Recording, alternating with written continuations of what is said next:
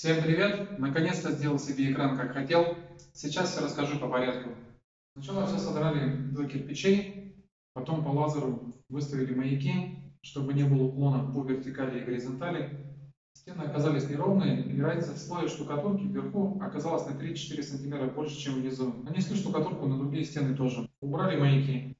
Через пару дней, там где были маяки, мы эти места загрунтовали, снова нанесли штукатурку, замазали эти швы, грубо говоря.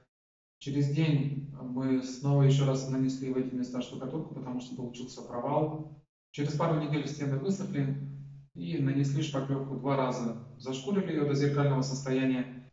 И после этого я нанес грунтовку. На следующий день собрался уже красить, но стена стала снова шероховатой, видимо, пыль сделала свое дело.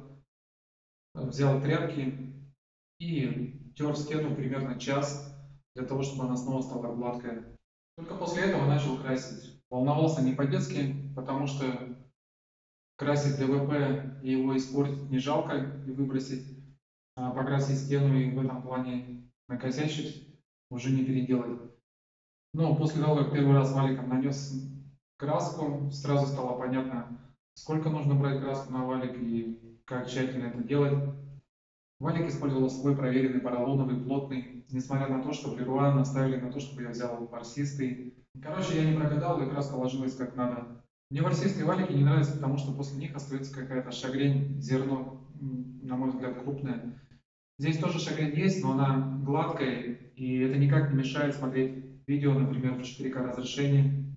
Краску наносил через 2 часа, два слоя, как написано в инструкции. Ну и еще оставалось в банке немного, и совсем нежирным слоем наносил еще третий слой и не пожалел.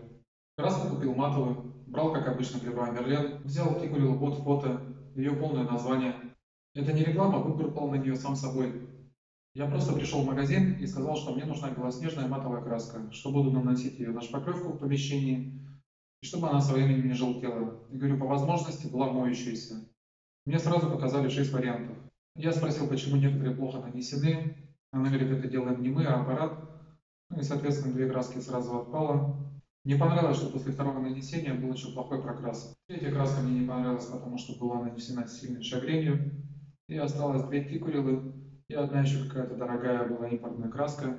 И я выбирал из двух тикурил. Одна была гармония, которой я пользовался всегда. До этого красил экраны на ДВП.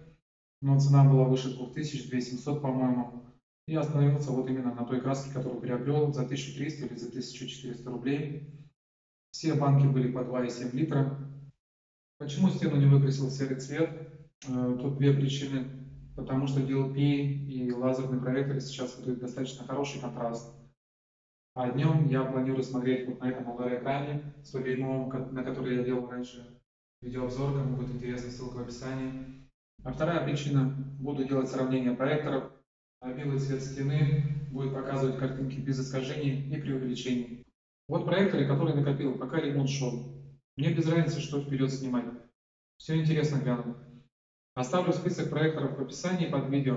Может быть вы напишите, что снять вперед, как в прошлый раз. Обзор на короткофокусный проектор тоже обязательно сделаю. В том числе и под него готовил стену. Если был бы ремонт в квартире, то, возможно, я даже не решился делать такую стену, потому что грязи было хоть отбавляй.